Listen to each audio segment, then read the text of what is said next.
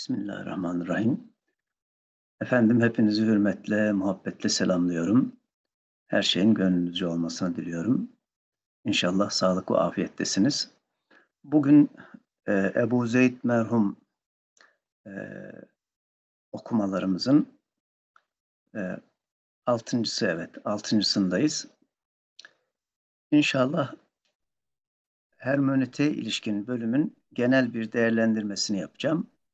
Çünkü bu değerlendirme gerek Ebu Zeyd ile ilgili okumalarımızda gerekse e, kanalımdaki diğer yapmış olduğum akademik rehberlik derslerimizde bize lazım olacak.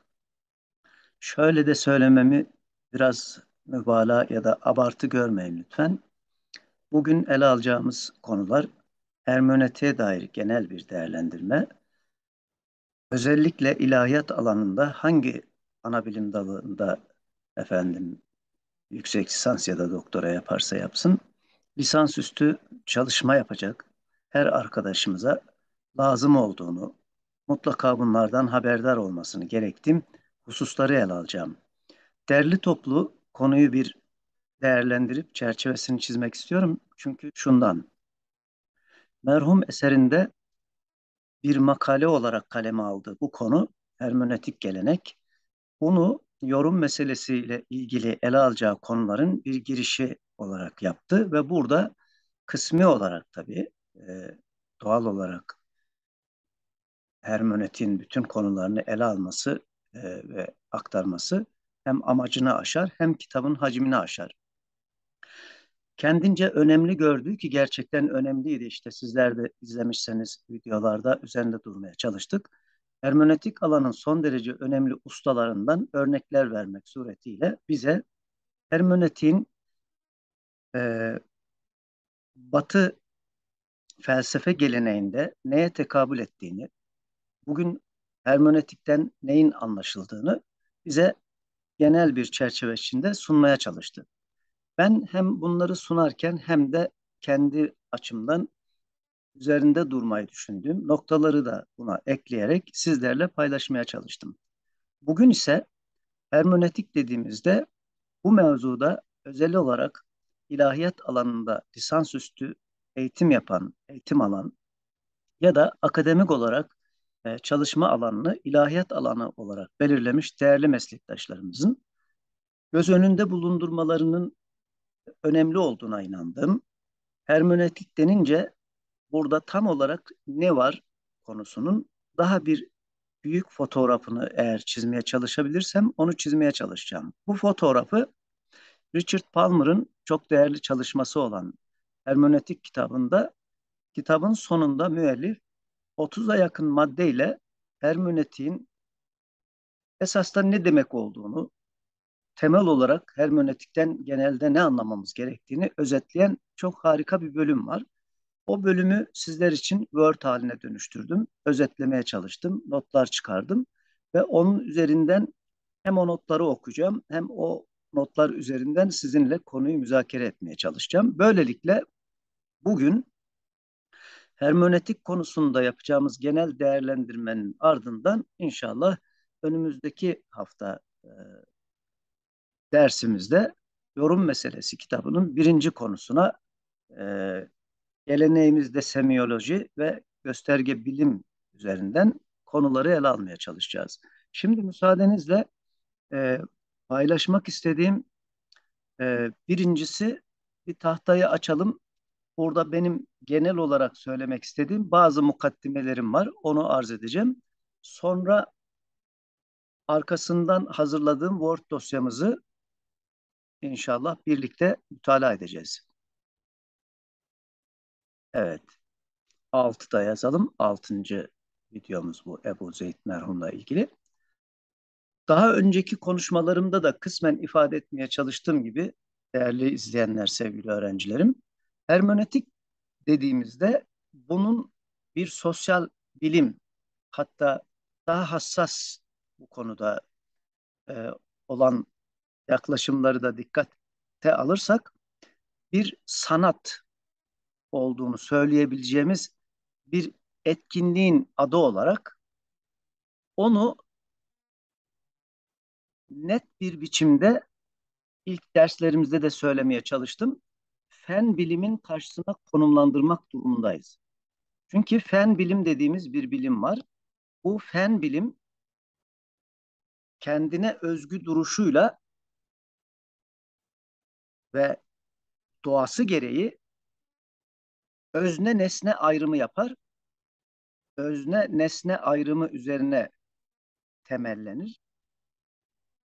Ve özne karşısına aldığı nesne üzerinde mutasarrıftır. Bunu ölçer, biçer, değerlendirir, hakkında hüküm verir ve onda tasarrufta bulunur ve bu bunların hepsini bir yönteme dönüştürür özne, bir yöntem geliştirir ve bu yöntem üzerinden, metot üzerinden nesneye dair bilgi üretir.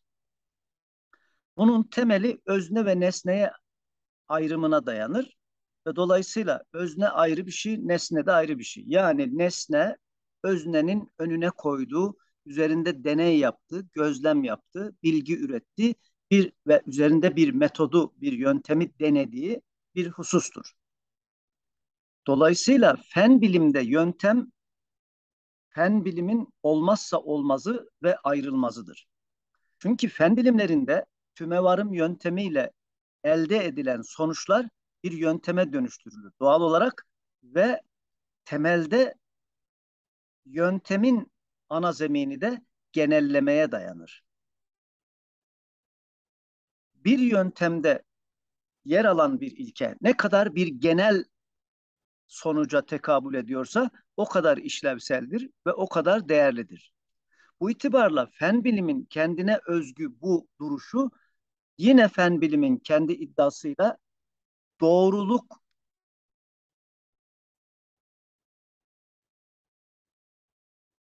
peşindedir ve doğruyu bulma peşindedir ve dolayısıyla doğruyu bulmak, kesin olana ulaşmak fen bilimin hedefi ve teknolojik araştırmalarında amacıdır. Şimdi burada bizim üzerinde durmamız gereken konu hermeneutik olduğunda şu hususu unutmamalıyız. Fen bilimcilerin özellikle pozitivist fen bilimcilerin aşırı iddialarıyla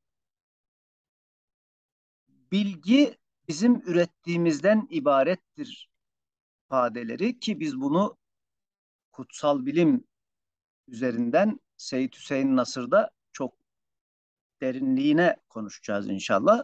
Ayrıca yine Ebu Zeyd okumalarında Sufi Hermeneutik kitabına geldiğimizde de çok farklı boyutlarıyla bu mevzuyu konuşacağız. Ama fen bilimin aydınlanmadan beri bütün dünya üzerindeki hegemonyasının temelinde yatan şey bilgiyi onların ürettiği ve onların ürettiğine bilgi denileceğini diğerlerinin bir bilgi efendim statüsünde görülemeyeceği iddialarıdır.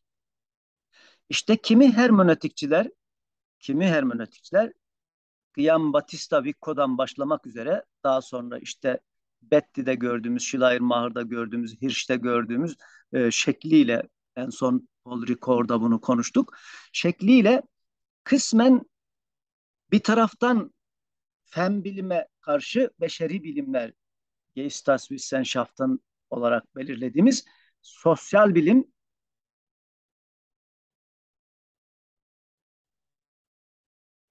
beşeri bilimleri temsilen ve beşeri bilimler vurgusuyla efendim fen bilimden bir alan ayrımı yaparlarken diğer taraftan da fen bilimcilerin bu üst perdeden doğruluk ve bilgi iddialarına öykünerek sosyal bilimde de bir yöntemin söz konusu olabileceğini iddia etmişler ve özellikle Diltey bunun üzerine bir ömür harcamıştır. Oysa az sonra genel değerlendirmeler için çıkardığım notları okurken de orada üzerinde duracağımız üzere bir kere e, madem ki sosyal bilim, fen bilim anlamında bir ayrım söz konusudur. O halde ne kadar kendine özgürlük sıfatıyla ayırsak da yöntem hermenötikte yöntem kendine özgüdür, fen bilimden ayrı bir yöntemdir şeklinde söylesek de Gadamer'in haklı olarak itiraz ettiği gibi yöntem yöntemdir. Nitekim notlarda da bunu konuşacağız. Dolayısıyla yöntem dediğiniz anda kendinizi fen bilimin vesayeti altına koymuş oluyorsunuz ve onun baskını, baskınlığı altında hermenötik yapmaya kalkıyorsunuz ki bu da sonuçsuz bir şeydir.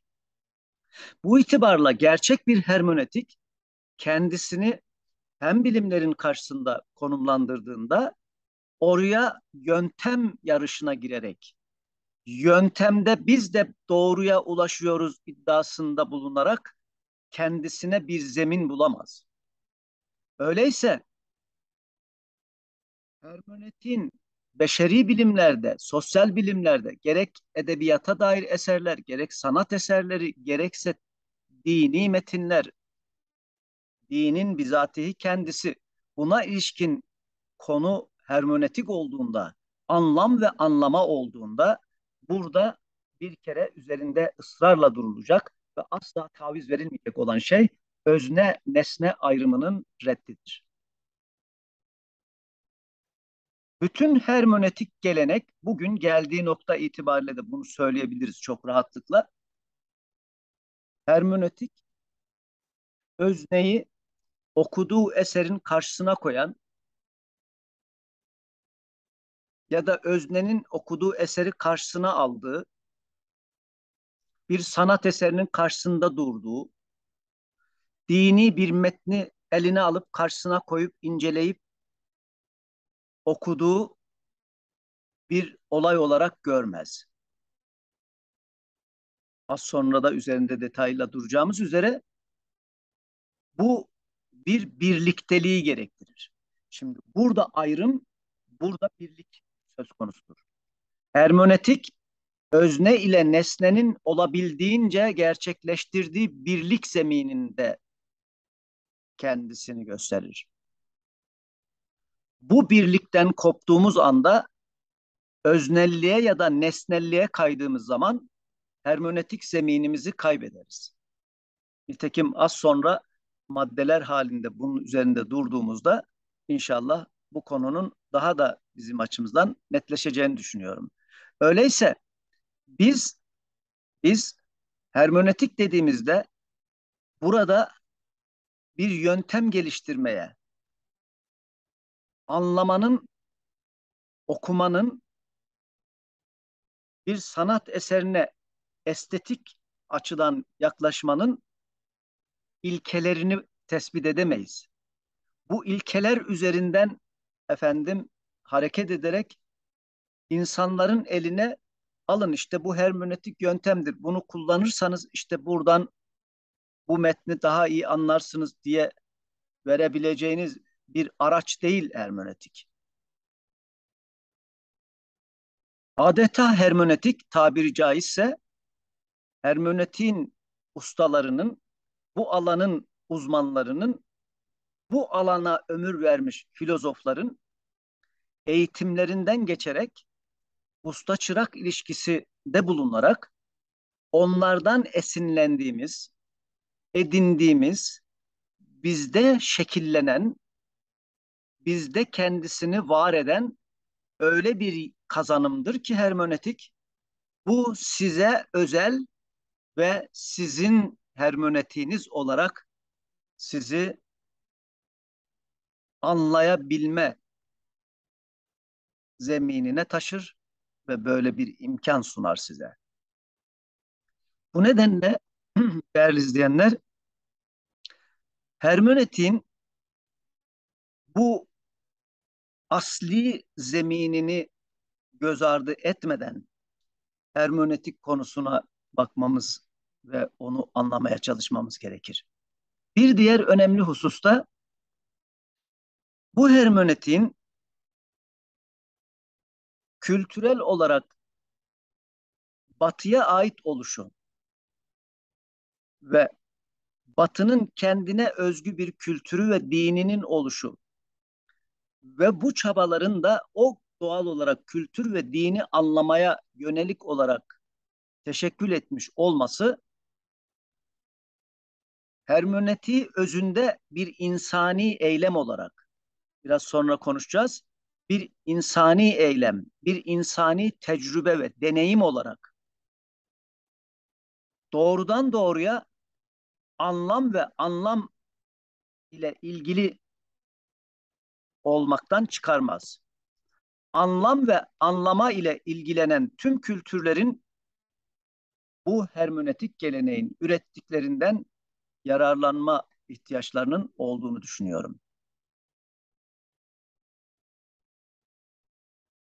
Son olarak daha önce de işaret ettiğim bir hususa değinerek metne geçmek istiyorum. Bayağı uzun bir metnimiz var. Sizi inşallah fazla yormaz. Fen bilim açıklar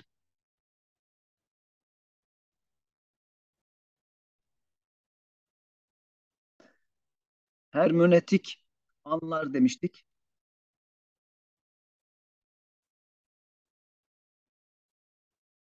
Fen bilim doğayı nesne olarak görür. Hermenötiğin eğer nesne tabirini kullanmak doğru olursa şayet e, tarihtir.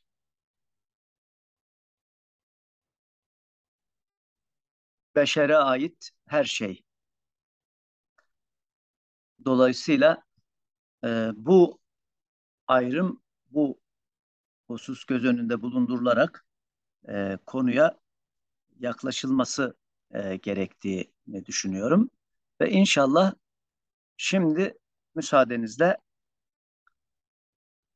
burada görmüş olduğunuz üzere genel hermenötik ilkeler e, başlığını koydum.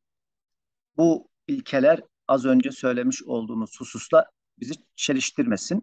Buradaki ilkelerden maksat tespitler manasında. Yani her hermenötiğin ilkelerini burada efendim e, koyup bu ilkelerden bir yönteme imada bulunmuyoruz. Az önce söylediğimizde çelişmiş oluruz. Bu ilkeler tespitler, genel hermenötik tespitler. Yani hermenötin neliğine ilişkin. Yani hermenötik nedir sorusuna. Hermenötin neliğine ilişkin tespitlerdir. Yani düzeltebiliriz. Başlığı tespitler olarak söyleyebiliriz. Peki birincisi hermenötik az önce de söylediğim üzere öznenin yani benim bunu biraz açalım. Özne, deneyime dair öznenin bir edebi metin, bir sanat eseri ya da herhangi bir dini metin ya da dini ritüel vesaire ile karşılaşmasında yaşadığı tecrübedir, deneyimdir. Hermenötik bir deneyimdir. Onun için de vurgulayalım bunu efendim. Hermenötiğin en önemli temel kavramlarından biri deneyim kavramıdır. Nitekim aşağıda da bu deneyim kavramını daha detaylı bir biçimde maddeler halinde göreceğimiz için e, vaktinizi almasın. Maddeleri okuyalım, üzerinde konuşalım. Hermenötiksel deneyim tarihseldir. Şimdi bir kere öncelikle vurgulanması gereken husus budur. Daha önceki tüm hermenötiğe ilişkin derslerimizde de söylediğim gibi hermenötiğin vurgusu tarihselliğedir.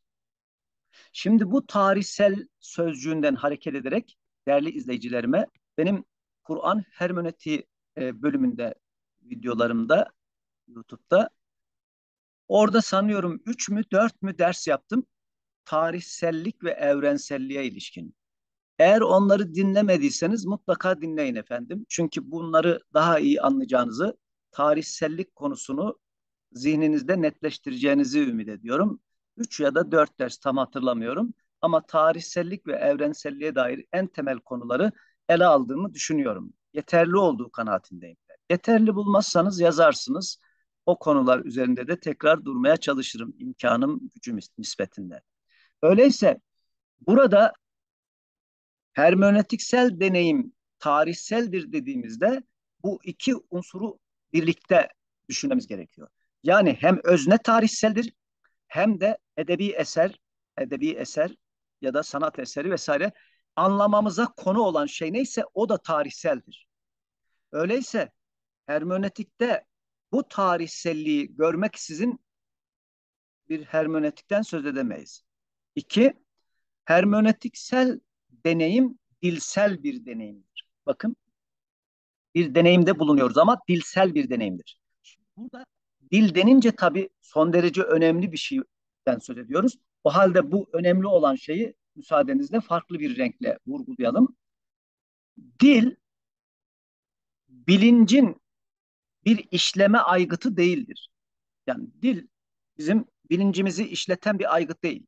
Önümüzde oluşacak olan dünyanın imkanından ibarettir. Şimdi bu ifade o kadar önemli ki bizim tüm hermenötik derslerimizde üzerinde durduğumuz son derece önemli bir husus. Öyleyse hermenötikte dil dediğimizde bu dille kastettiğimiz şey sadece kültürel olarak yaşamımızı sürdürdüğümüz, iletişimimizi sağlayan ya da bilgi aktarımında kullandığımız bir araç değildi. Dil bize içinde kendimizi bulacağımız, içinde kendimiz olacağımız, içinde kendimizi daha iyi bileceğimiz, kendimizin daha iyi farkına varabileceğimiz bir dünyayı inşa eder bize. Böyle bir dünyanın olanaklılığını önümüze koyar dil. Dolayısıyla daha sonra da dil üzerinde vurgularda duracağız. Bu itibarla hermenötiksel deneyimin ki bu tabiri de müsaadenizle vurgulayalım. Çünkü son derece önemli bir tabir bu.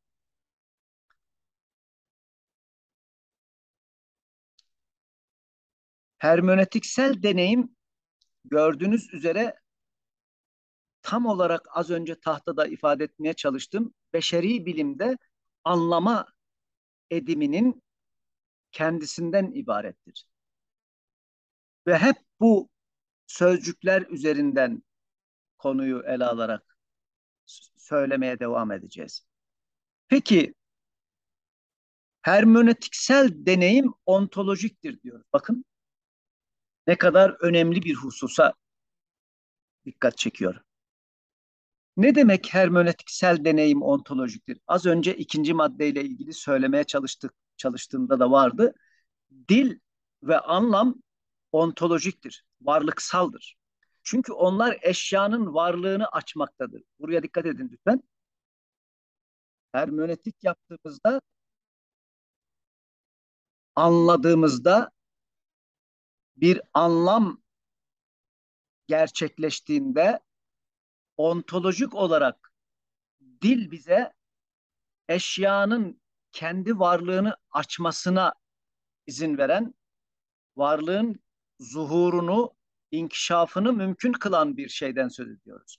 Bu açılım, dikkat buyurunuz, bu açılım, bu açılım öznenin karşısında duran bir nesne değil, öznenin de dahil olduğu varlıkın bir açılımıdır.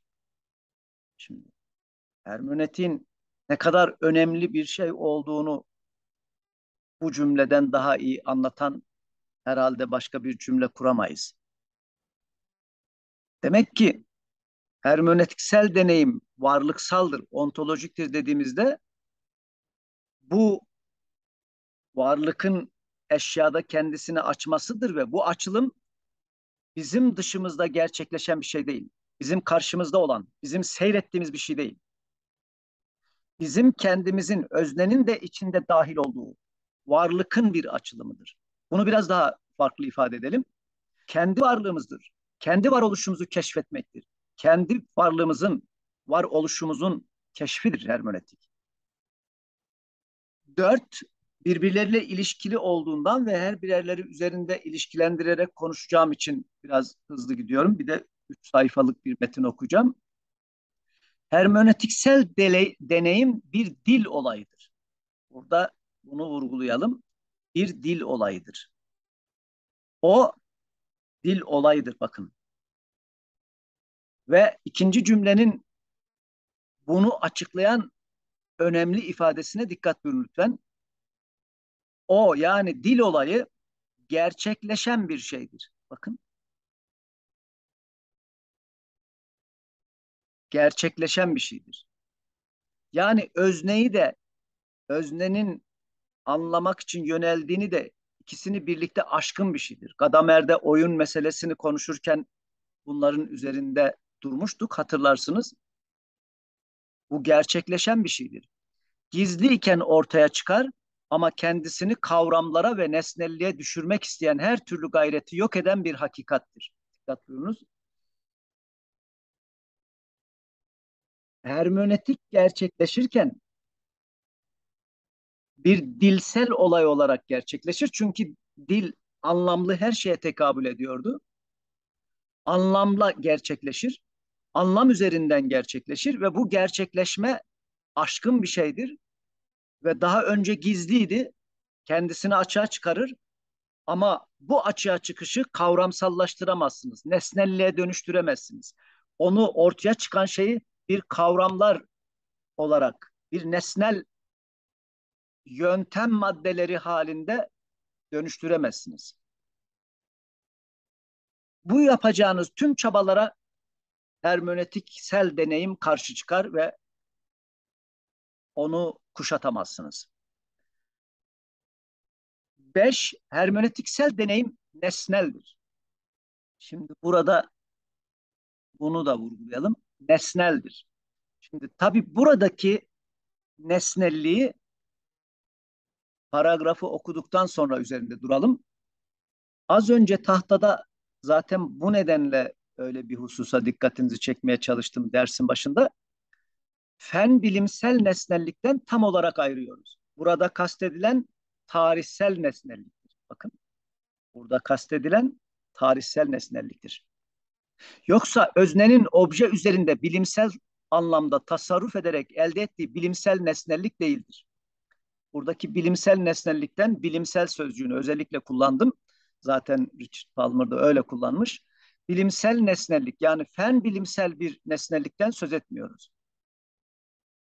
Buradaki nesnellik kişinin dil, tarih ve dünya ile olan ilişkisini ifade edecek olan uygun sözcükleri bakın onları kullanmak değil onlara katılmaktır. Demek ki hermenötik deneyimin nesnelliği fen bilimdeki gibi bir tasarruf ve bir kullanma değil, bir katılımdır. Dolayısıyla burada şimdi bizim bu nesnelliğin fen bilimsel nesnellikte ne kadar ayrı bir şey olduğunu şu sözcük ile ilişkilendirerek daha netleştirebiliriz. Fen bilimsel nesnellikte bir öznenin tasarrufu varken hermenötiksel nesnellik öznenin nesneye bir katılımıdır. Kişi kendi başına dili ve tarihi şekillendiremez. Bakın lütfen burayı vurgulamama izin verin. Bir kişi kendi başına tarihi ve dili şekillendiremez. Kendi dilsel eylemini onlara uydurur.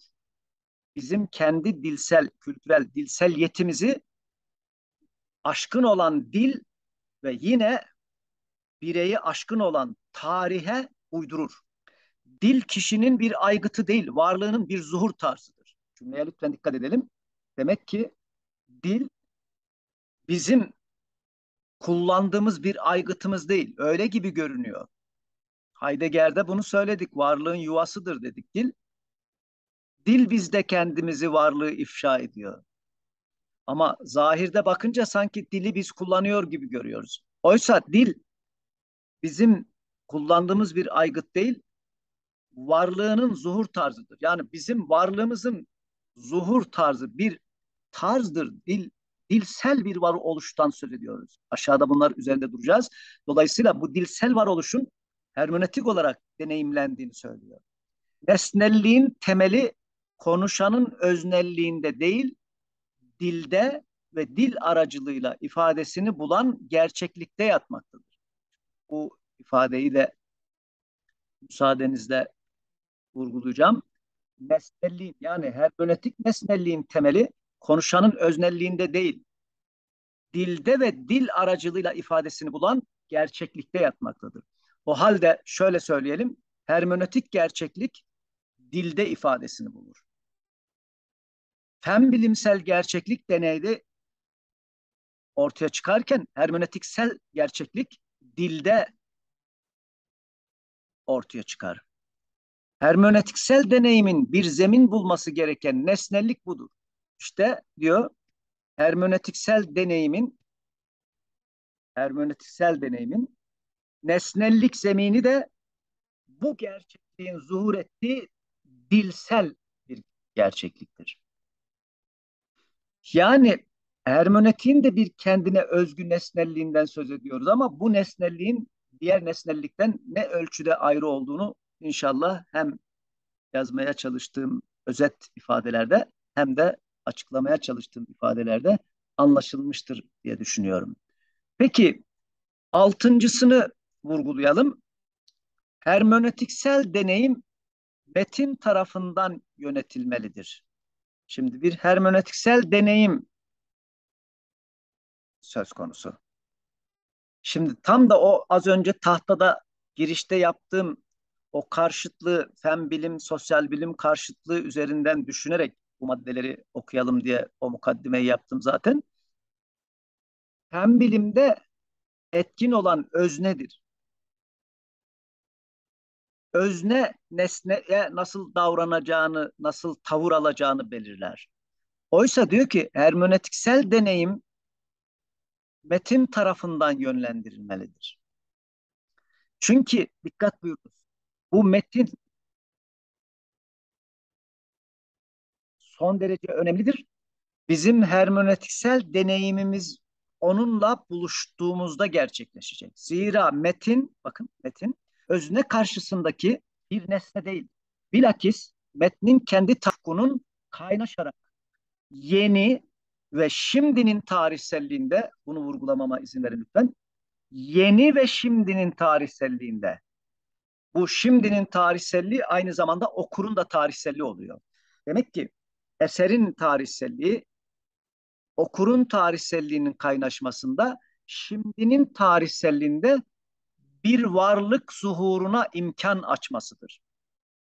Son derece önemli bir ifade. Demek ki metnin ufku okurun ufkuyla birleşiyor ve okurun içinde bulunduğu tarihsel ortamda yeni bir varlık zuhuruna imkan sağlıyor. Böylece metin, böylece metin, böylece metin kendi ufkundan bazı şeyleri uzaklaştırıyor bakın. Metin kendi ufkundan bazı şeyleri dışta bırakıyor. Öznenin ufkunu kendisine çekiyor. Öznenin ufkunu kendisine çekerken kendisinden bazı şeyleri tarihin gerisinde, geçmişte bırakıyor. Öyle olması gerekiyor.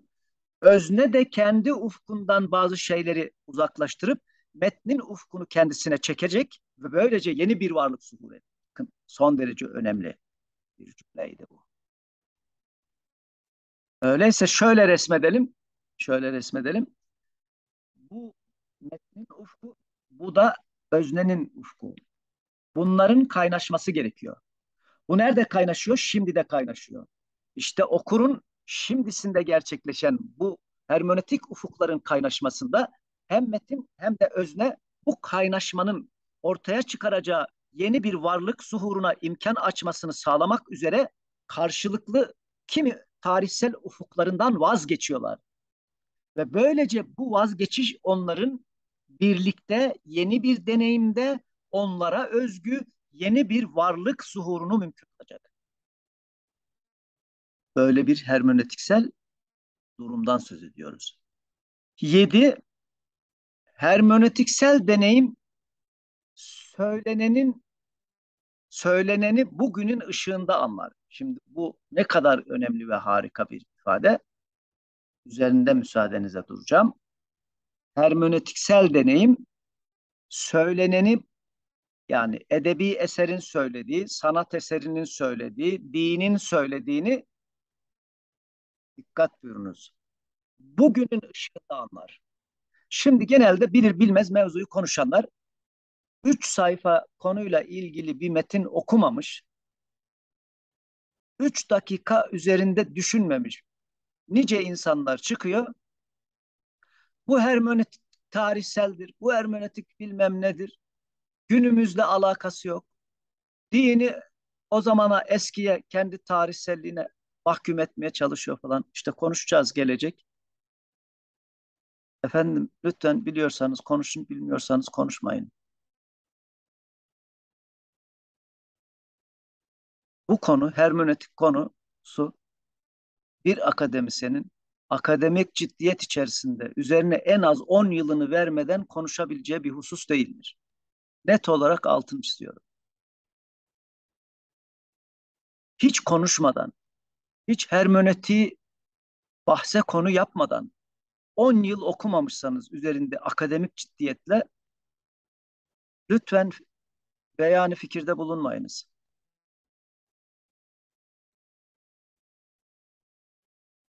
Bakın bugünün ışığında anlar diyor. Ve daha ne kadar önemli şeyler söyleyecek.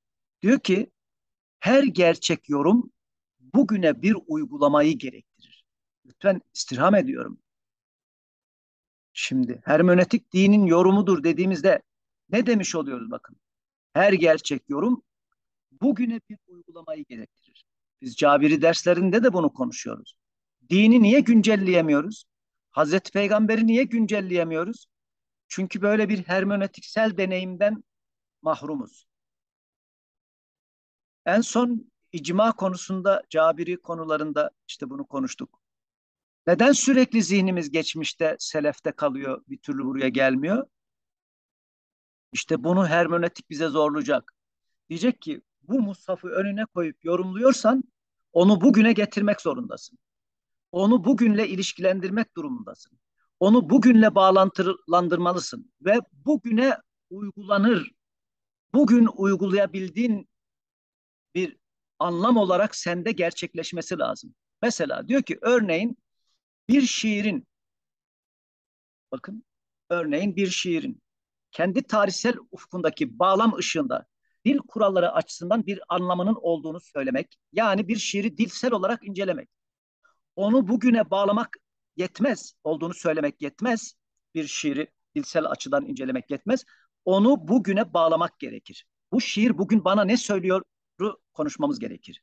Bakın yorum, yorum yani hermenötiksel deneyim, yorumdan kastettiğimiz hermenötiksel deneyim yorumcuyu bir eserin bugün yöneltir. Bu bir metnin anlamının güncellenmesidir. Anlamın güncellenmesi. Hermenötikte anlamı güncellemek, dini güncellemek demek onu deneyimlemektir, tecrübe etmektir. Demek ki Hazreti Peygamber'in sünnetini anlamak demek onu bugün tecrübe etmek ve deneyimlemektir.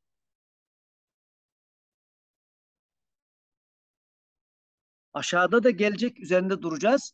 Mesela bazı meslektaşlarımız diyor ki hala sünneti tanımlayıp duruyoruz. Benim doçentlik tezim yeni bir sünnet tanım denemesiydi. Efendim tabii ki tanımlayacaksınız.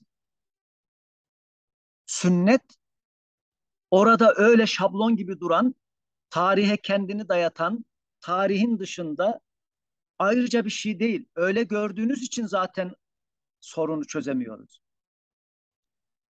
O bizimle her zaman buluşan, her buluştuğu mümin ve Müslümanda ona yeni bir dini dünyanın kapılarını aralayan, orada ona bir dindarlık varlığının ve varoluşunun zeminini sağlayan bir şeydir.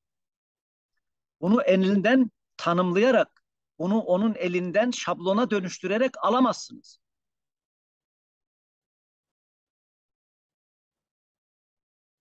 İşte bu nedenle hermenötiğe ihtiyacımız var. Bu nedenle hermenötiğin ne anlama geldiğini bilmek durumundayız akademisyenler olarak. Aşağıda gelecek bu hususların üzerinde daha farklı boyutlarla duracağım için şimdilik çok fazla durmuyorum. Genel olarak bitince de yine bir değerlendirmede bulunacağım. Son derece önemli bir maddeye geldik. Sekizinci madde. Hermenötiksel deneyim gerçekliğin bir açılımıdır. Görüyorsun. Bu ifadeleri Seyyid Hüseyin Nasır okumalarında İrfan geleneğini Cabir'de okurken orada inşallah kısmet olursa ileride Hikmetül İşrak'ta Suhre verdiği Molla Sadra'da ki efendim e, Sufi hermenötikte bunları konuşacağız. Hermenötiksel deneyim bizde gerçekliğin bir kendini ifşasıdır. Bir gerçeklik kendini açıyor bizde. Ama şimdi diyor ki gerçeklik gerçeklik truth sözcüğü fiili durum fact ile aynı manada ele alınamaz. Şimdi buraya dikkat edelim. Gerçeklik dediğimizde bu gerçeklik, truth, fiili durum olan fact, realite bunlar bir ve aynı anlamda ele alınamaz. Çünkü neden? Gerçeklik varlığın görüntü. Dikkat buyurunuz. Yani bunu bir sonraki İnşallah Seyyid Hüseyin Nasır okumalarında bu gerçeklik üzerinde Allah gerçekliktir konusunu işleyeceğiz. Orada detaylı bir biçimde duracağım. İnşallah izleme imkanınız olursa bu konunun daha açıldığını orada görebilirsiniz. Çünkü gerçeklik varlığın yani zuhur eden, görünen varlığın ışığının dinamik olarak ortaya çıkmasıdır. Öyleyse şöyle diyelim. Bunu Seyyid Hüseyin Nasır'da da konuşacağız. Truth, truth gerçeklik bir sıfattır. Turuz, gerçeklik bir sıfattır. Ve bu realitenin sıfatıdır. Yani realitenin realite olmasını garanti eden şey gerçekliktir. Eğer bir gerçeklik olmasaydı bir realite olmayacak. Onun için diyeceğiz ki sanıyorum geçen Seyyid Hüseyin Nasır'da biraz konuştuk. Realite olmadan da gerçeklik olur. Biraz platonik bir şey oluyor bu ama realite olmadan da gerçeklikten söz edebiliriz. Ama gerçeklik sözünü ettiğimiz her realitenin zeminidir. Dolayısıyla bu manada dikkat buyurunuz gerçeklik külli ve şüphesiz değildir. Şimdi bu son derece önemli. Yani bu külli oluş, kesin oluş realiteyle ilgili bir şeydir. Onun için de gerçekliği realitenin sınırlarına indirgeyemeyiz. Onu bu kavramlarla ifade edemeyiz zuhur etme, bakın gerçekliğin zuhuru, gerçekliğin kendini ifşası daha ziyade gerçekliği kendi sonsuzluğunda aynı zamanda gizlemek. Ne kadar harika bir şey söylüyor. Bu tamamen bizim sufi geleneğin söylediklerinin aynısı. Bunu tasavvuf metinlerini okurken Seyyid Hüseyin Nasır'da özellikle ve Sufi Hermeneutik'te e, Ebu Zeyd'de bunu konuşacağız. Değerli izleyenler, sevgili öğrencilerim ne kadar önemli bir şey söylüyor. Zuhur etme, gerçekliğin kendini ifşası daha ziyade gerçekliği yani turufun kendisini kendi sonsuzluğunda, kendi sınırsızlığında, realitenin kendine özgü bir sınırı vardır. Kendisine özgü sınırsızlığında aynı zamanda gizler. Gerçekliğin gizliliği. Bakın onun için bizde sufi dikkat edin ne kadar harika bir ifadedir. Onlara hayranım.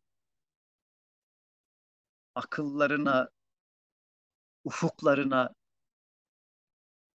Cenab-ı Hakk'a seslenirken işte bu hermonetik ilke bu Richard Palmer'ın söylediği şeylerin özünü söylüyor kaç asır önce. Allahu Teala'ya münacat ederken şöyle sesleniyor.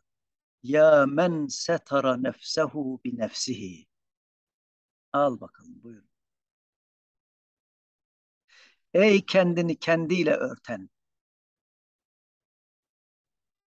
Bunu Seyyid Hüseyin Nasır'da konuşacağız. Gerçeklik diyor bakın. Gizlemek zuhurunda gerçeklik aynı zamanda kendini gizliyor. Nasıl ama? Sonsuzluğunun gerçekliğinde kendini gizliyor. Bu öyle bir gizlemektir ki dikkat buyurunuz. Bu manada gerçeklik negatiflik zemininde bulunur. Bu da tam bizim te, bizim sufi terminolojide varlığın vücudun ademle ilişkisidir. Bunu İbn Arabi tasavvufunda ve İbn Arabi metafiziğinde son derece sufi hermenötikte uzun uzun ve Cabiri irfan konuşmalarında ele alacağız. Onun için İbni Arabi'nin en sevdiği kavramlardan biridir Adem. Çünkü Adem varlığın zeminidir. Bakın negatiflik zemininde bulunur. Bu nedenle gerçekliğin keşfi en iyi şekilde negatifliğin gücünün etkin olduğu diyalektik ortamında gerçekleşir. Gerçekliği keşfedeceksek onun negatifliğinin etkin olduğu bir diyalektik yani vücut adem diyalektiğinde yakalıyorsunuz o gerçekliği. Gerçeklik kavramsal ve olgusal değildir. O sadece gerçekleşmektedir. Bakın bunlar bizim tamamen irfan geleneğimizde birebir aynen böyle söylenmiş ifadelerdir. Evet, gerçeklik gerçeklik kavramlara indirgeyemeyeceğimiz kadar olgusal olarak realiteye indirgeyemeyeceğimiz kadar aşkın bir şeydir. O sadece gerçekleşerek kendini gösterir. Eğer realitede gerçekliği arıyorsak realitenin kendisine değil gerçekleşişine bakacağız. Realitenin gerçekliği, gerçekleşmesi gerçekliğin anlamını taşımasıdır. Bunları daha sonra farklı boyutlarıyla diğer ilgili konularda da inşallah ele alacağımız için burada e, inşallah çok fazla detaya girmek istemiyorum. Konuyu hermenötiğin neliğine ilişkin tespitlerden dışarı taşırmamaya da dikkat gösterdiğim için. Yoksa mesela bu 8. maddede söylemeyi düşündüm. Aslında söylemek de istediğim çok şey var ama şimdilik bunlardan sarfı nazar ediyorum. Evet efendim şimdi yine hermenötin neliğine dair bu defa metotla ilişkili olarak metot üzerinden kimi tespitleri inşallah birlikte yapacağız. Diyor ki metot yorumcunun ölçme ve kontrol etme gayretidir. Az önce bunu fen bilimleri hususunu ele alırken ifade etmeye çalışmıştım. Dikkatlerinizi çektim. Metot yorumcunun ölçme ve kontrol etme gayretidir. Onun için de bu metot bir kontrol mekanizmasıdır. Fenomenin yol göstermesine tabi olmanın karşıtıdır. Oysa fenomen gerçekliğin zuhur ettiği alan olarak fenomen bu gerçekliğin zuhur ettiği bir alan olarak, zemin olarak fenomen doğal olarak işte Husserl'ın fenomenolojisinde de Heidegger'de de bunu görüyoruz. O bize kendisi bir yol göstermek ister. Ama siz ona bir yöntemle, bir metotla yaklaşırsanız kendini gizler ve yol göstericiliğini gerçekleştiremez. Onun için yöntem ve metot hermenötikte fenomenin yukarıdan beri saymaya çalışmış olduğumuz anlamı zuhur ettirmesinin önünü keser. Onun diyor karşıtıdır. Yani yöntem hermenötikte fenomenin, fenomenin yol göstermesine karşıt bir durumdur. Metin açısından yorumcunun yerini değiştiren bakın. Metin açısından yorumcunun yerini değiştiren deneyimin açıklığı, deneyimin açıklığı. Bu son derece önemli bir kavram olduğu için onu vurgulamama izin verin lütfen. Deneyimin açıklığı. Yani buradaki söylediği hermenötiksel deneyim o kadar bedihi bir özellik taşır ki, o kadar açık seçiktir ki yönteme, metoda hem aykırıdır hem de abestir yönteme yani. Geldiğim köye rehberlik yapmaya benzer bu. Bedihi olana yönteme ne gerek var? Deneyimin, hermenötiksel deneyimin açıklığı yönteme ihtiyaç bırakmaz. Bu açıdan metot, bu açıdan metot, realitede yorumcuyu eserden ayıran, bakın yorumcuyu eserden ayıran, ikisi arasında duran ve eseri onun tamamen tecrübe etmesine yani öznenin tam bir hermenötik deneyim yaşamasına engel, engel teşkil eden bir çeşit dogmatizm diyor. Çok dikkat edin. Fen bilimde yöntem ne kadar olmazsa olmaz ise hermenötikte yöntem o kadar Gadamer'in haklı olduğu konu sorunludur. Çünkü yöntemi metnin anlamını belirleyen bir şablon olarak yaklaşıyorsunuz. Onun için bizim geleneğimizde, hadis geleneğinde metin tenkidinin hermenötik bir yorumunun yapılmasına acilen ihtiyacımız var. Bunu ben kısmet olur, vaktim olursa yapmayı severek yapacağım düşünüyorum ama iyi bir öğrenci bulursam doktora tezi ya da doçentlik tezi olarak bunu çalıştırmayı düşünüyorum. Metin tenkidinin hermenötiksel bir değerlendirmesini yapmamız gerekiyor. Bizde metin tenkidi kadar sorunlu, sonuçları itibariyle de problemli hadis alanının hemen hemen ikinci bir alan gösteremezsiniz metin tenkidi. Sürekli metinle uğraşan ve metin tenkidi yapan biri olarak söylüyorum bunu aynı zamanda. Bizim hadiste metin tenkidinin hermenötiksel bir değerlendirmesini yapmak durumundayız. Çünkü nasıl bir efendim metin tenkidi yapıyoruz? Neyle yapıyoruz? Neyse konuyu hadise dönüştürmeyeyim ama bunun üzerinde ayrıca durulması gerektiğini düşünüyorum. Peki modern teknolojik düşünme tarzı modern ve teknolojik düşünme tarzı ki bu metodolojik olarak düşünmedir, metodik düşünmedir. Nesneye hakim olma bakın, nesneye hakim olma ve maddeye saldırma. Bu yani onu dönüştürme, onda tasarruf anlamında buradaki saldırma. Bu kavramlar çerçevesinde düşünmeye teşvik eder. Ve biz içinde yaşadığımız dönem itibariyle buna çok alışığız teknolojik düşünmeye çok alışığız. Çünkü hayatımıza o kadar girmiş, o kadar bizi esir almış ki Heidegger'de teknolojiye ilişkin karşı duruşların da arka planında özünde bu vardır. Bu türden tabiri caizse Richard Palmer'dan aynen aldım cümleler. Bu türden tabiri caizse metnin ırzına geçen beni hoş görmenizi e, diliyorum. Böylesine bir yorum teorileri yöntem olarak belirlenen ve esin kaynağı teknolojik düşünme olan yorum teorileri esere karşı benlik merkezli, dogmatik, kapalı ve onu cansız hale getiren bir yaklaşım sergilemektir. Yani demek istiyor ki yöneldiğiniz eseri öldürdünüz. Onda nasıl bir dünya ve hayat bulmayı başlıyorsunuz?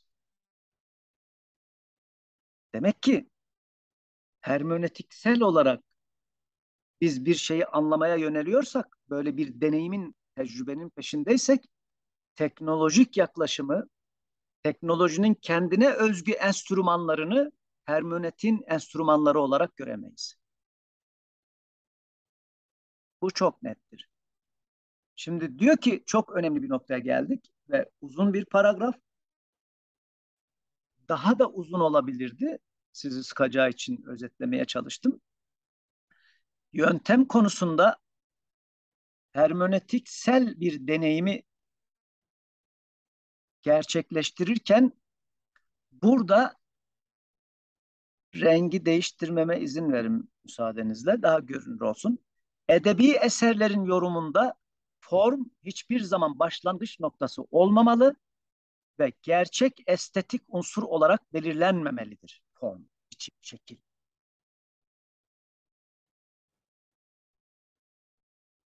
Burada da az sonra üzerinde duracağımız gibi konunun en başında dikkatinizi çektiğim hermenötik özne nesne ayrımına hermenötik özne nesne ayrımına ne kadar karşıysa form, biçim, içerik, muhteva ayrımına da o kadar karşıdır. karşıdır. Dolayısıyla bir yöntem olarak bir sanat eserinin sadece formunu ya da bir metin olarak anlamak istediğimiz edebi bir eserin sadece yazım türünü, tarzını, edebiyat türünü, formu temele alamayız. Buradan hareket edersek bize hermenötik bir deneyim yaşama imkanı vermez. Aksine formu içerikten, bakın formu içerikten ve tüm anlamlılığı, tüm anlamlı bütünlüğünden içerik, onun tüm anlamlı bütünlüğünden ayrılabileceğine inanmak, yanlış felsefi kavramlara dayanan hatalı bir anlayıştır. Çünkü form onun dikkat buyurunuz kendi içeriksel bütünlüğüyle ortaya çıkar. Benim dinin güncellenmesi makalemi okuyun. Sünnetin güncellenmesine ilişkin yazılarımı da okuyun. Bu konuyu nasıl işlediğimi orada göreceksiniz. Form norm ilişkisi üzerinden. Son derece önemli bir husus bu. Dini bir metni, sünneti, ibadeti bunları ayırırken, şey anlamaya çalışırken onları formuyla o formun normu dediğimiz içerik ve muhteması bütünlüğüyle görmeden nasıl anlayabiliriz?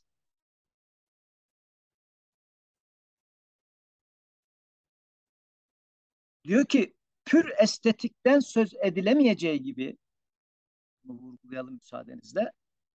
Pür estetikten söz edilemeyeceği gibi sanat için sanattan da söz edilemez.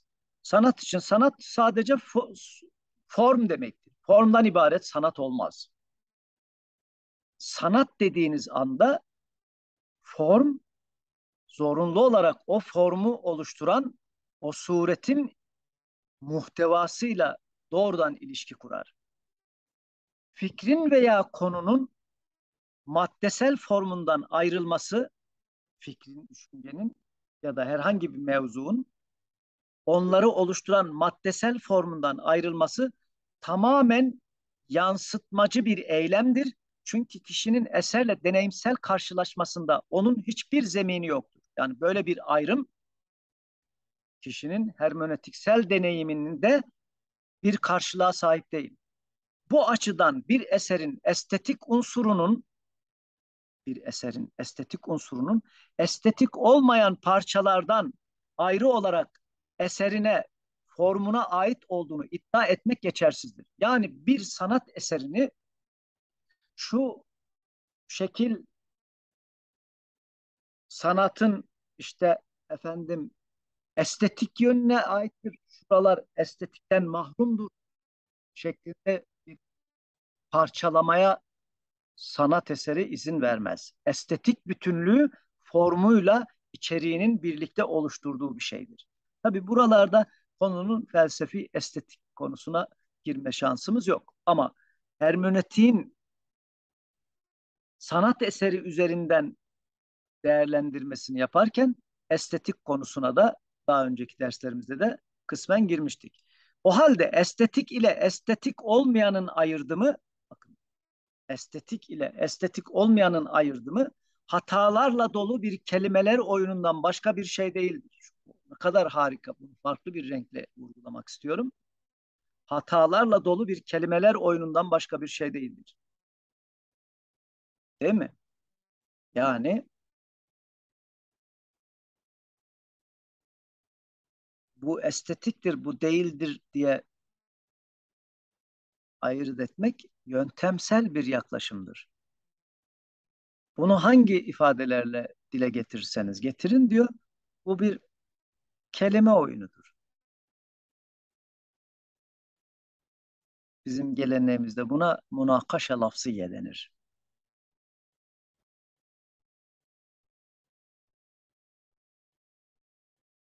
Ya da cedeliye lafzıye. İşte bu. Çünkü estetik kademe bir dünyanın meydana geldiği bir birliktir. Bakın. Değerli izleyenler, sevgili öğrencilerim. Çünkü estetik kademe bir dünyanın meydana geldiği bir birliktir. Hermenötiğin nasıl birlik gerektirdiğini daha dersin başında vurgulamaya çalıştım.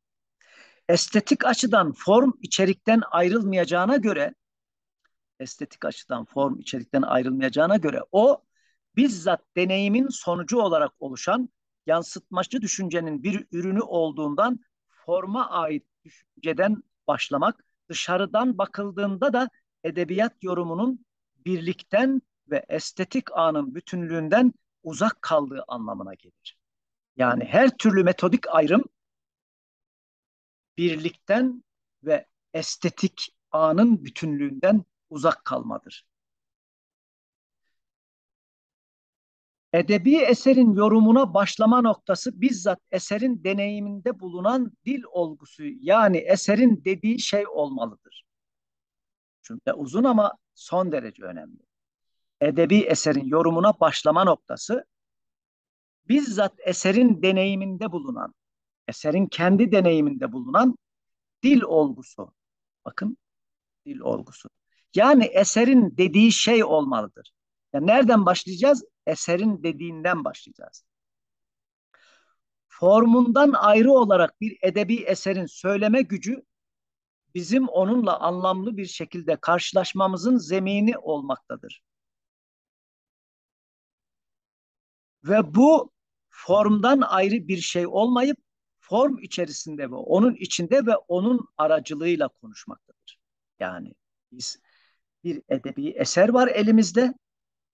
Bu edebi eserin dediği şeyden söz ediyoruz. Efendim ben konunun heyecanı ve konsantrasyonu bozulmasın diye müsaadenizle dersi uzun tutacağım. Ama siz lütfen dinlene dinlene ve böyle böyle izleyin. Çünkü bunları bölersek e, onun e, tam biz de burada bir hermeneutik deneyim gerçekleştiriyoruz birlikte izleyicilerimizle. Onun ruhu söner. O ruhu kaybetmemek adına hoşgörünüze sığınıyorum ve e, devam edeceğim. Daha baya bir sayfamız daha var bundan başka. İşte o metnin dediği şey. Burada bu dediği şey bu metnin dediği şeyi taşıyan formundan ayrı bir şey değil. Onun içinde onunla birlikte konuşmaktadır metin bize. İşte bu formun içsel bütünlüğü, formun içeriğiyle oluşturduğu bütünlüğü ve söylenene şeyin kendisi gerçekliğin ve estetik deneyimin içsel bütünlüğünün bir temelini sunar. Demek ki biz söylenenin o bütünlüğünü yakalayacağımız temel eserin başlangıç yorumlanmasına başlangıç noktası olarak belirlediğimiz onun dediği şey bize böyle bir zemin sunar. Bir edebiyat eserinin gerçekleştirdiği söyleme eylemi, bakın söyleme eylemi dediği şey, varlıkın bir açılımıdır. Yukarıda da konuştuk. Bir varlık zuhurudur. Onun ışıldama gücü, varlıkın gerçeklik gücüdür. Metnin söylemeye çalıştığı ışık, varlıkın gerçekliğinin gücüdür. Dilin söyleme, bir dünyayı ortaya çıkarma gücü vardır. Bu nedenle Heidegger'in Hölder meşhur Alman şairi, Heidegger'in de hayran olduğu bir şairdir. ile aynı fikirde olarak insanın dünyada bakın şiirsel olarak yerleştiğini söylerken kastettiği tam olarak budur. Şiirin bir formu var mı? Evet. Şimdi onun veznine takılırsak arızdı, heceydi, şuydu buydu Alman şiirini bilmiyorum. Ee, takılabilirsiniz. Ama bu o şiirle hermenötiksel bir deneyim gerçekleştirdiğiniz anlamına gelmez. Şiir şairinde ve okurunda bir şiirsel dünyayı inşa ettiğinde bizim hermenötiksel deneyimimizin konusu olur.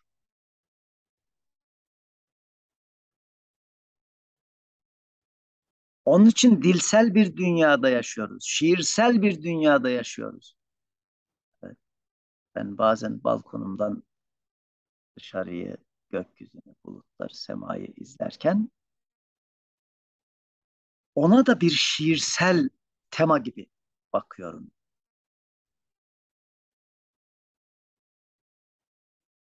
Şimdi diyecek diyeceksiniz ki siz ona böyle bir anlam yüklüyorsunuz. Böyle bakabilirsiniz. Bu sizin beni yorumlamanızdan ibarettir.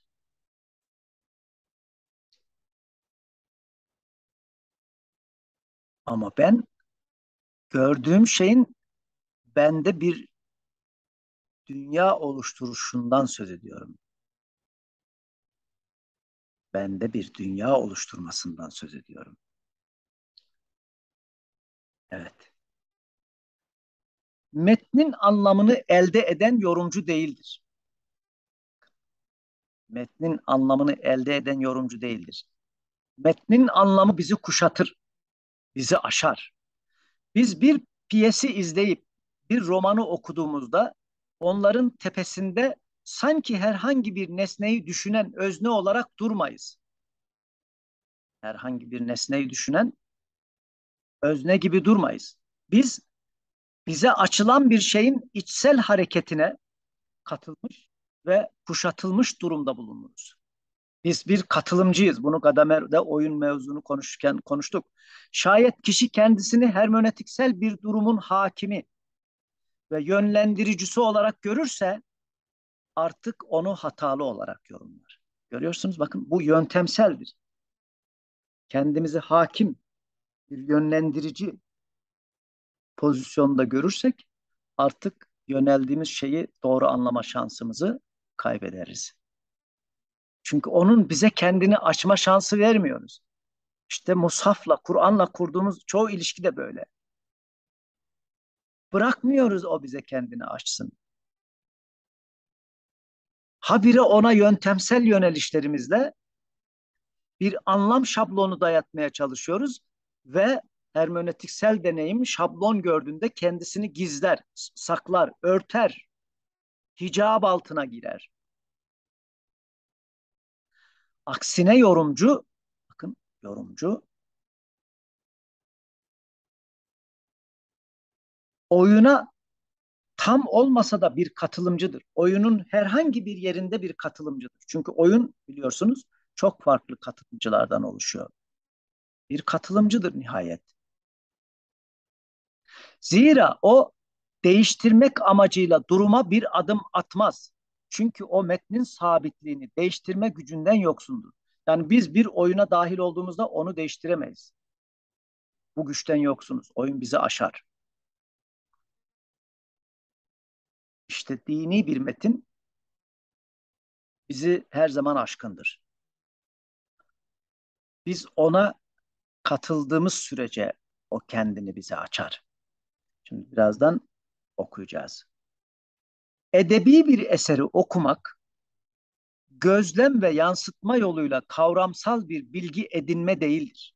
Bunun müsaadenizle daha farklı bir renkle renklendireyim. Edebi bir eseri okumak, gözlem ve yansıtma yoluyla kavramsal bir bilgi edinme değildir. Yani bir fen bilim değildir bir edebi eseri okumak. O bir deneyim, hermenötiksel deneyimdir. Kişinin önceki bakış açısının kırılması ve bırakılmasıdır. Dikkat buyurunuz bakın.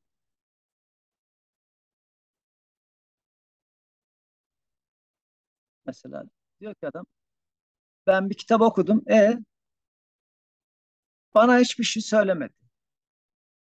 Söylemez. Sen kendini açmadın. Sahip olduğun dogmaları,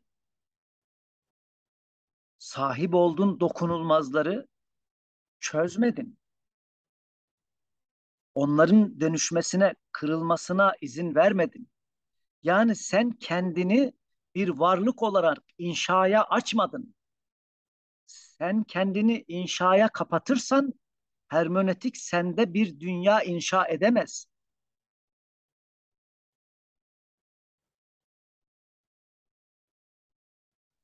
Daha ilk cümlesini okuyup kitaba atıyor. Böyle kitap mı olur? Tamam, eyvallah. Ömrün kafana sabitlediğin o fikrin tasdikçisi kitapları tekrar tekrar okumakla geçer.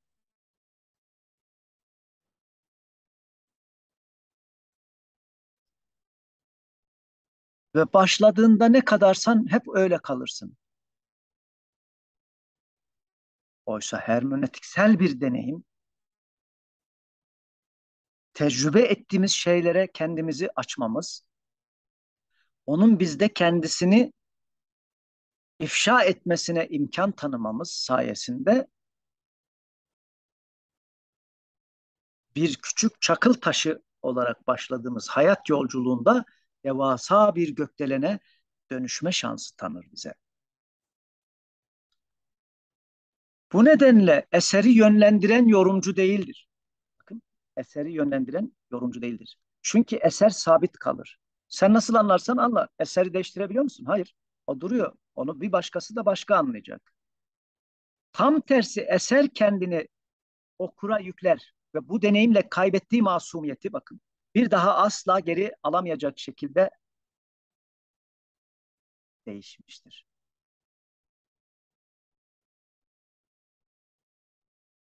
Bazen elinizde olmadan ben onun için internete işte mesajıma bakmaya falan ya da ne bileyim bazen PDF vesaire indiriyoruz. Onlarla ilgili giriyorum. Başka hiçbir şey görmemeye işte YouTube'da kanalıma vesaire bakıyorum. Başka bir şey görmemeye özenle dikkat ediyorum. Çünkü temas ettiğimiz her bir şey bizde bir daha silemeyeceğimiz izler bırakır. Bunu önleyemeyiz. İzlediğiniz basit bir fragman ruhunuzda derin boşluklar bırakabilir. Ya da tersine iyi etkiler de bırakır ama değiştirir. Artık eskisi gibi olamazsınız. Onu görmediğiniz ana geri filmi geri sardıramazsınız. Gördünüz bir kere. Şimdi burada da son derece önemli bir husus duracağız.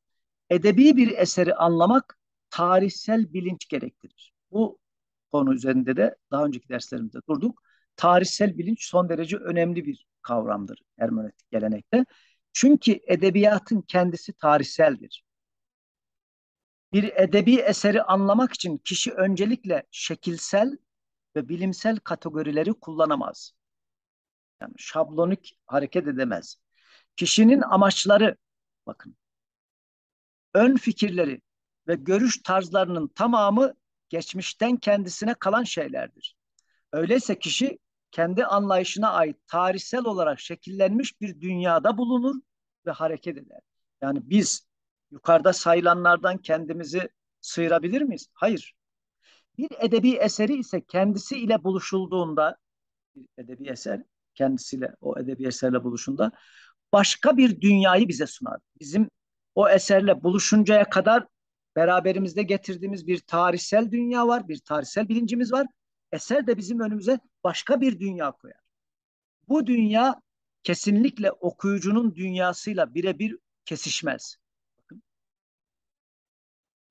Ancak kişi onu samimiyetle tecrübe ederek kendini daha bir derinleştirmek suretiyle kendisini anlamak isterse bu eser, bu dünya üzerinden bu mümkün olur. Bu itibarla edebi bir eseri okumak gerçekten bir tarihsel deneyim yaşamaktır. Deneyim çok manidar bir sözcüktür diyor Richard Palmer. Çünkü deneyimin bizzat kendisi de tarihseldir. O yani deneyim kişinin dünyayı anlayışının şekillendiği bir yoldur. Tecrübelerimizle şekilleniriz. Tecrübelerimizle oluşuruz. Tecrübelerimiz bizi biz yapar. Evet.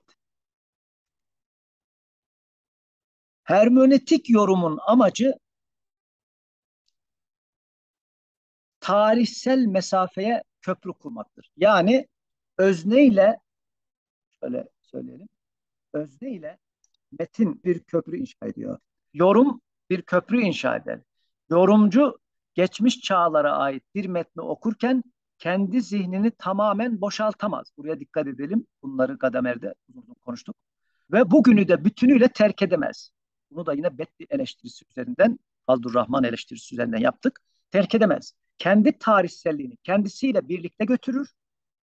Yani kendi tarihsel bilincimiz, kendi tarihselliğimiz sırtımızda bizden ayrılmayan bir bagaj, bir yük ya da bir kamburdur. Kambur olumsuz anlamı olduğu için öyle söylemeyelim. Yani bir bagajımız bizim ve eserin ufku ile kendi ufkunun diyalektik olarak karşılaşmasında anlama amaçlı olarak kullanılır. Bakın olumsuz değil bu taşıdığımız şey. Biz tabula rasa olarak bir metnin önüne çıkamayız. Olumlu bir şey bagajımızın olması. Tarihsel bakın, tarihsel yeniden inşa, sıfırdan fikri veya geçmişi sadece kendi kavramlarıyla bilmek romantik bir mit, ön varsayımsız yorum fikri kadar imkansızdır. Bunu lütfen bütünüyle bu cümleyi vurgulamak istiyorum. O kadar önemli ki tarihsel yeniden inşa fikri veya geçmişi kendi kavramlarıyla bilmek. Romantik bir mit, ön varsayımsız yorum fikri kadar yani tabularası olarak yönelmek, boş bir zihinle yönelmek gibi imkansız ve saçma bir iddiadır. Şimdi düşünelim. Hep İslam ilimlerle uğraşıyoruz değil mi? Asr-ı Saadet'e gidelim Asr-ı Nasıl gidiyorsun Asr-ı Saadet'e? Bu bakın e, sevgili izleyenler, değerli öğrencilerim. Bu bizim yaşlandıkça ah bir keşke genç olsam diyoruz ya. Tamam. Şimdi şöyle hemen basitçe karikatürize edeyim izninizle. Bu şimdiki benim. Ah bir 20 yaşında olsam diyoruz. Bu da 20 yaşındaki benim. Buraya ah bir bu 20 yaşında olsam şimdi diyorum. Tamam. Zannediyor ki Ahmet Keleş 20 yaşına gidecek ama 60 yaşındaki birikimini de oraya beraber götürecek. E, ne güzel. Ne iyi. Tecrübe ol, ol, ol gençliğe git. Tecrübeli ol, ol gençliğe git. Yok öyle bir şey. Oraya geri dönemiyorsun. Öyle gidemiyorsun. Çıkamıyorsun. Orada uzun uzun bunu konuştuk. O zaman hermenötiksel deneyim zorunludur. Böyle bir şey söz konusu değildir. Yani bunlardan sıyrılamayız. Bugün bizimle bir şekilde bağlı olmayan edebi bir eser ölüdür. Cümlenin harikalığını görüyor musunuz? İşte aynı Kur'anen mehcura diyor ya Allah. İşte bu bugün Mustafa Kur'an'ın Müslümanlarla nasıl bir ilişkisi var? Maşallah. Hatimden ölünün ardına hastaya oku bilmem neyin dışında. Nasıl bir hayat inşamızın neresinde duruyor? Bizimle bir şekilde bağlı olmayan edebi bir eser ölüdür. Yorumcunun görevi bazı durumlarda ölü gibi duran şeyleri alıp onun bugün ile yani bugünkü beklentiler ufku ve kendini anlama dünyasıyla bağlantısını göstermektir. Ya işte hermenötiksel deneyimde yorumcu bunu yaptığında yorumcunun görevi ölü gibi duran şeyleri bugün ile bugünkü beklentiler ufku ve kendini anlama dünyasıyla nasıl bir bağlantısı olduğunu göstermek önemli olan şey bu.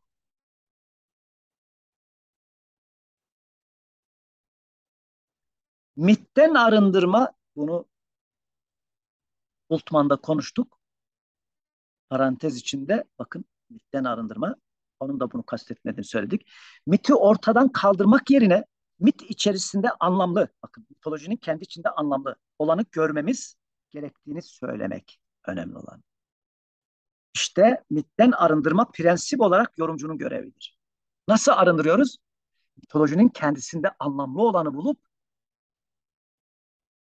bugün bizim için bu anlamın kendi varlığımızda ve kendimizi inşada nereye tekabül ediyorsa oraya onu yerleştirmek yorumcunun görevi. Hermenötin ne kadar lüzumlu, ne kadar gerekli olduğunu görüyor muyuz? Şimdi bunu Kur'an'a, Mustafa orada anlatılan kıssalara, hikayelere uygulama becerisini yetkinliğini göstermek gerekmez mi? Kur'an'daki tarihsel kıssalar şey kıssalar tarihsel miydi değil miydi? Halefullah da bunu farklı yönden tartıştı ya. Ne olacak? Tarihsel olsa ne olacak, olmasa ne olacak? İşte hermenötikle meşgul olmanın, özellikle ilahiyat alanında, tefsir başta olmak üzere, bize ne kadar anlam ve anlama imkanları sunduğunu, ne kadar yeni ufuklar açtığını görebilmek açısından o kadar mühim ki değerli izleyenler, sevgili öğrencilerim. Lütfen bu önemli alandan bigane kalmayın, kendinizi buna kapatmayın, gereksiz olumsuz propagandalara kanmayın. Size bir hocanız, yaşça da muhtemelen sizlerden büyüğüm, benden de yaşlı büyük olan izleyicim varsa beni bağışlasın, hürmetlerimi arz ediyorum kendilerine. Her şeyin kararını kendiniz inceleyip, okuyup, araştırarak verin arkadaşlar. Başkalarının kararını kendi kararınız haline dönüştürmeyin. Falana sordum iyi değil diyor. Falanın iyi değil dediğini siz de iyi değil olarak görmeyin. Belki de onun iyi değil dediğini siz çok iyi göreceksiniz. Nereden biliyorsunuz? Evet, az kaldı efendim. Bitiyor. 11. maddemiz son madde. Bir diyor sanat eserini okumak, bir sanat eserini okumak, kavramsal bilginin uzaysal, durağan ve geçici olmayan kategorileri içinde içerisinde tutulmak değildir. Çünkü o yani bir sanat eserini okumak olgunun, tarihin özelliğine sahiptir. Tarihin kendi özelliğine sahiptir. Bir edebi eseri anlama, bir edebi eserin anlamı dinamik, geçici ve kişiseldir. Bakın şimdi bu o kadar önemli bir cümle ki müsaadenizle biraz bunun üzerinde duralım. Kalemin rengini de biraz değiştireyim. Evet. Bir edebi eserin anlamı dinamik. Yani onu donduramazsınız. Zaten hermenötiksel olarak konuştuklarımızda bu dinamik olmanın ne kadar önemli bir husus olduğunu muhtemelen fark etmiş olmalısınız. Oysa biz tam tersini arıyoruz dini ilimlerde. Bu metnin dinamik olmayan sabit anlamı. Oysa metin sabit anlamıyla değil, dinamik anlamıyla inşa edicidir. Dinamik anlamıyla yapıcıdır. Dinamik olduğunda inşa eder, yapar. Ve dinamik olduğunda her özneyle o özneyle ilgi kurar, ona özgü ilgi kurar, onunla bir dünya inşa eder. Geçicidir çünkü tarihseldir ve dinamiktir, geçicidir çünkü tüketilemez. Sabit olanı tüketirsiniz. Ama dinamiktir. Dünkü anlamı artık dünde kaldı. Bugün yeni bir anlamla dinamiktir. Onun için bitmiyor. Ve kişiseldir. Onu kurala bağlayamazsınız. Genel olarak hepiniz böyle anlayacaksınız diye bir şablon dayatamazsınız.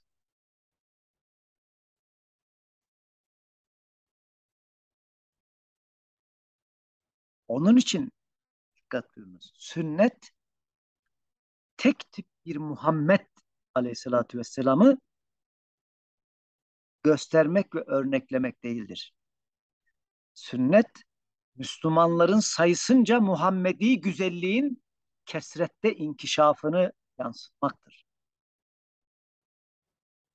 Her bir mümin kendi varlık dünyasındaki güzelliğiyle Hazreti Muhammed'i yansıttığında aleyhissalatü vesselam sünnete tabi olmuş olur.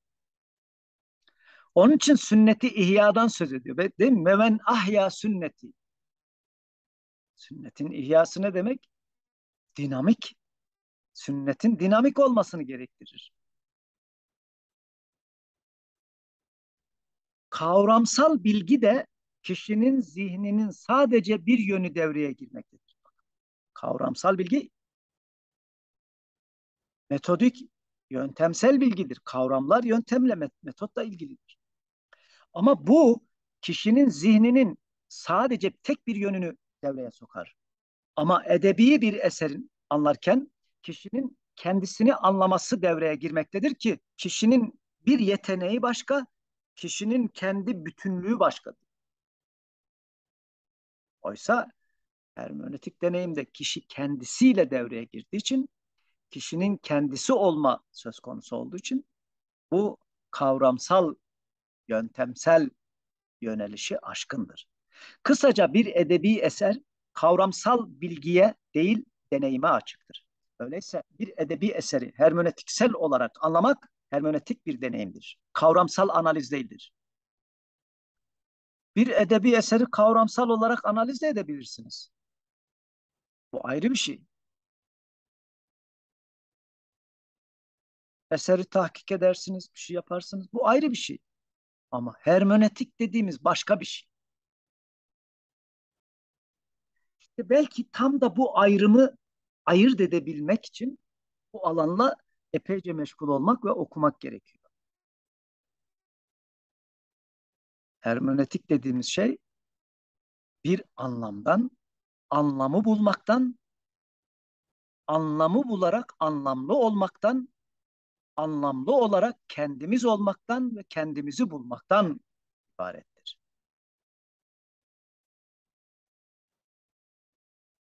Bende bunun gerçekleşmesine sebebiyet verdiğinde bir hermenötiksel deneyimden söz ediyoruz demektir.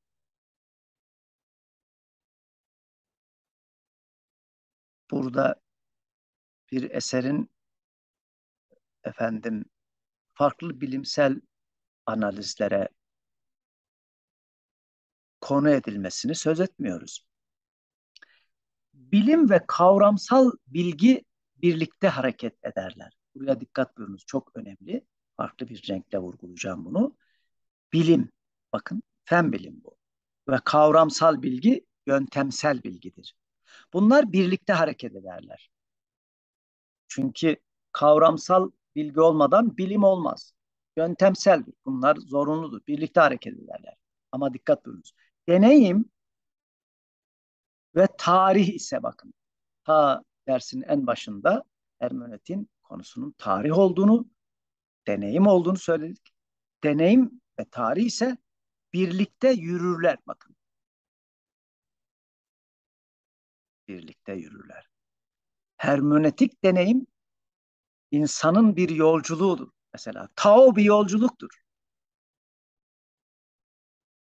Yoldur. Ben yolum diyor Tao. Onun için Seyyid Hüseyin Nasır gelenek nedir sorusunun soruyor kitabında What is tradition sorusunu soruyor. Cevabında Tao'nun bir şiirinden söz ediyor. Diyor ki ben Tao'yum, ben geçmişim. Ben asılım diyor, ben geçmişim. Ben tarihim. Onun için şimdiyim. Ve Tao'yum.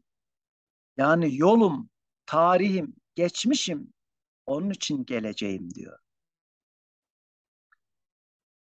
Bu bir yürüyüştür. Kendini bulma yürüyüş, kendi olma yürüyüş, ontolojiktir, varoluşsaldır. İşte diyor hermenötik edebiyat yorumu ikinci gruba dahildir. Yani şu yürüyüşe dahildir diyor.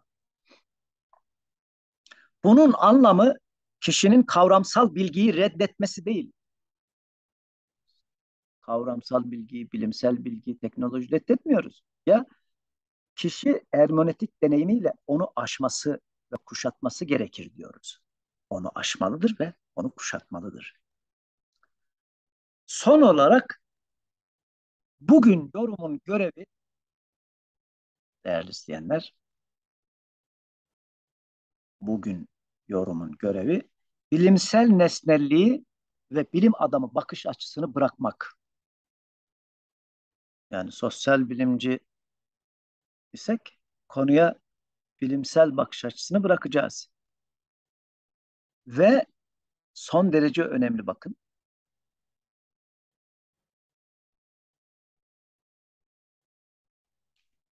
Varlıkın tarihselliği anlayışını yeniden kurmaktır. Biz teknolojik düşünmenin o kadar etkisi altında kalmışız ki tarihselliğimizi nadiren hatırlıyoruz. Yorumun herkes için geçerli. Ben bu son cümlelerimize dikkat buyurun. Yorumun herkes için geçerli ve doğru yorum olmadığını en başında bunu vurguladım. Ben bilim kesinlikle ve doğruyla ilgilenirken hermenötik bununla ilgilenmez. Böyle bir iddiası yok hermenötiğin. Bunu anladığımızda diyor onun tarihsel özelliği ile de karşılaşmayı başarırız. Demek ki varlıkın tarihselliğini anlama fen bilimci nesnellik ve doğruluk iddiasından vazgeçmeyi gerektirir.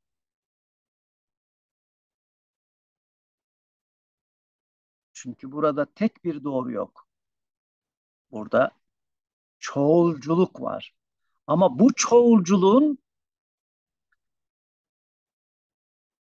inşai ve inkişafi bir niteliği var. Her çağda bakın Platon, Dante, Shakespeare yeniden yorumlanacaktır. Yorumlanmalıdır. Hiçbir çağın bunu işte Cabir dersinde konuştuk içima sorununu konuşurken. Hiçbir çağın Platon yorumu bugün bizi bağlamamalı. Dante yorumu, Shakespeare yorumu bugün bizi bağlamamalı. Bizim bugün bir Platon, Dante, Shakespeare ya da bizim kendi geleneğimizden söyleyelim Farabi, İbn Sina, İbn Rüşd, Molla Sadra, İbn Arabi, Hallacı Mansur yorumumuz olmalı. Daha amaçsal ileriye götürelim. Bir Hazreti Muhammed yorumumuz olmalı.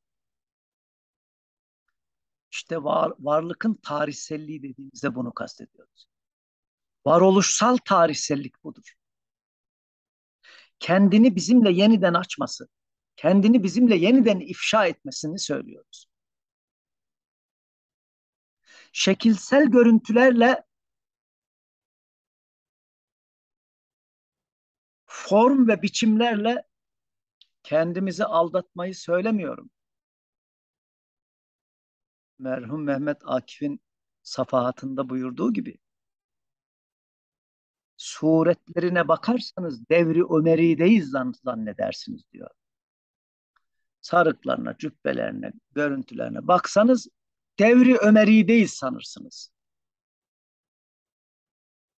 Ahlaklarına, iç dünyalarına, o formun, şeklin altındaki içeriye girdiğinizde girdiğinize pişman olursunuz. Peki hermenötik ne diyor bize? Form içerikten ayrılmaz diyor. Peki Mevlana ne diyor bize? Rahimehullah. İçindeki ne dışına yansıt? Dışındaki içindekini göstersin diyor. Öyle mi? Ya. Olduğun gibi görün. Ve göründüğün gibi ol. Buyur. İşte hermenötik. Sana bir ömür boyu yeter. Ne arıyorsun ki daha başka? Hedefin insan olmaksa, hedefimiz insanı kamilse, kemalatsa hepsini bir cümlede özetlemiş zaten. Bunu Farsça okumak ya da tercüme etmek ya da bu cümlenin gramatikal ya da şiirsel formunu ortaya koymak, onu anlamak değil.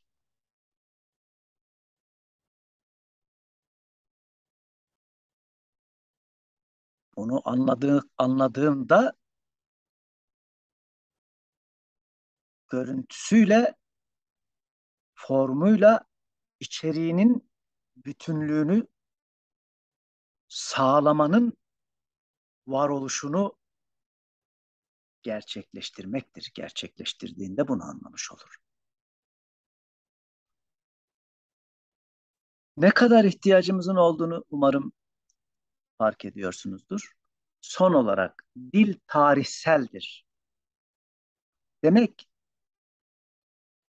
Dil tüm tarihte dilsel varoluşu gerçekleştirmeye devam edecek demektir. Yani dil bir süreçtir.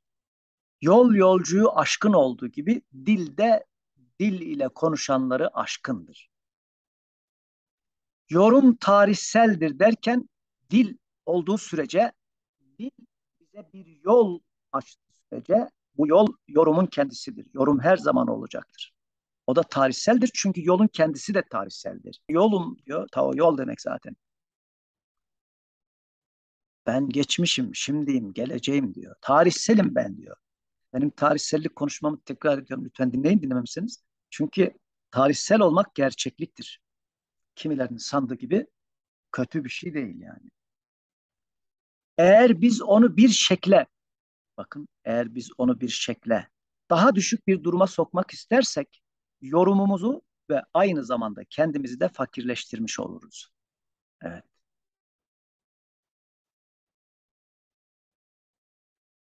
Demek ki değerli izleyenler, sevgili öğrencilerim,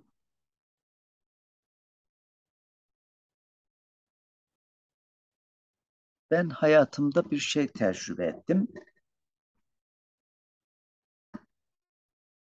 Ee, bir şeyi yapmakla iyi yapmak arasında çok fark var. Bir şeyi yapmış olmak için yapmakla bir şeyi kendi olmak, kendisi olmak için yapmak arasında çok daha büyük fark var. Siz siz olun. Hiçbir şeyi yapmış olmak için yapmayın.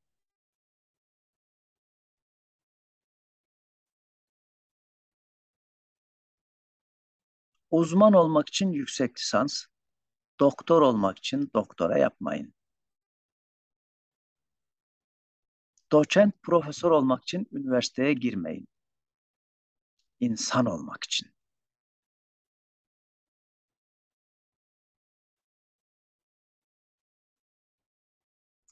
Size bakanın sizde bir insan görmesini gerçekleştirmek için okuyun, çalışın.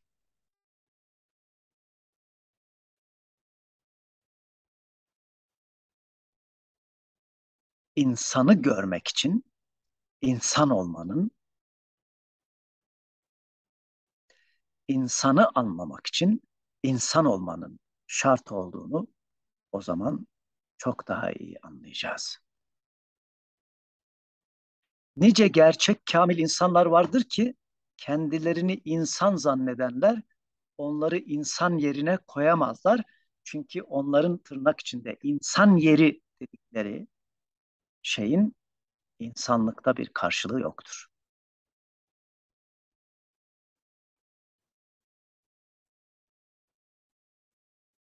Evet. Nice de kamil insanlar vardır ki insan suretine sahip oldukları halde insan olmayı başaramamış olanlara bakarak hem onlar adına üzülür hem de insan olamamayı hermenötiksel bir metin olarak kendi insan olmasının bir metni olarak okuyup onların insan olamayışlarında insan olabilmeyi başarır. İşte insan olmak müsbet menfi her durumu insan olmanın zeminine dönüştürebilmektir. Bir mevkiye, bir makama gelmek falan değil. Servet sahibi, varlık sahibi falan olmak değil. İnsan olmak başka bir şey. İnsan olmak, insanların gözlerinizin içine baktığında huzur bulmalarını sağlamak demektir. Size temas edenlerin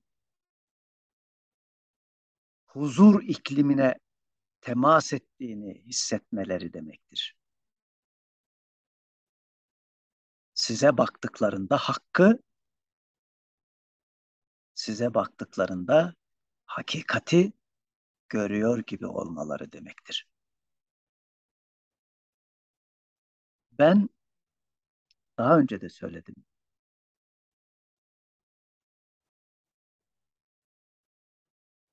Bu hermenötik konularıyla, işte diğer benzer konularla çok şükür akademik hayatımın 20 yıldan fazla bir zamanı itibariyle imkanım, aklımın erdiği ölçüde meşgul olmaya çalışıyorum. Çok şükür bir zararını görmedim efendim. Okuyun, inceleyin. Benim söylediğime itibar etmeyin. Zararlı görürseniz bırakırsınız. Faydalı görürseniz ilminize, kemalatınıza bir tuğla eklemiş olursunuz. Siz kazanırsınız. Beğenmezseniz de yine en azından neden beğendi, beğenmediğinizi bilerek beğenmezsiniz. Biz akademisyeniz. Biz bilim insanlarıyız. Okuruz, bakarız, ederiz. Kimine de aklımız erer, kimine ermez. Haddimizi de biliriz. Ona göre hareket ederiz. Ee, bu nedenle değerli izleyenler, sevgili öğrencilerim, bu son derece uzamış dersim için beni hoş görmenizi diliyorum. Ebu Zeyd merhumun yorum meselesi kitabındaki hermenötik geleneğe ilişkin yapmış olduğu açıklamaları böyle bir bütünlük içinde genel manada hermenötiğin tam olarak ne olduğunu gösteren bazı tespitleri Richard Palmer'ın hermenötik kitabından özetleyerek sizinle bugün paylaşmış oldum. Ee, umarım faydalı olmuştur, yararlı bulmuşsunuzdur. Şayet vakit ayırıp bu uzunca dersi dinlerseniz müteşekkir olurum. Dinlemezseniz de yine müteşekkirim efendim. Hepinizi tekrar görüşünceye kadar Allah'a emanet ediyorum. Hoşça kalın, sağlıkla, afiyetle kalınız.